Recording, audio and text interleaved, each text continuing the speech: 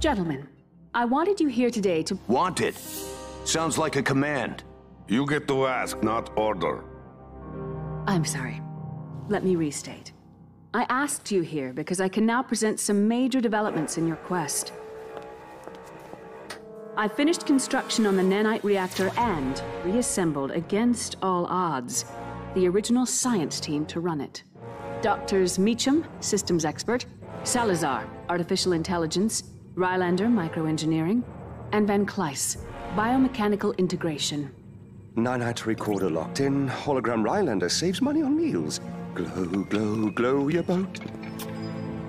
A human flashlight and a brain-fried babbler. This is what I'm supposed to work with. Looks like your geniuses have some issues.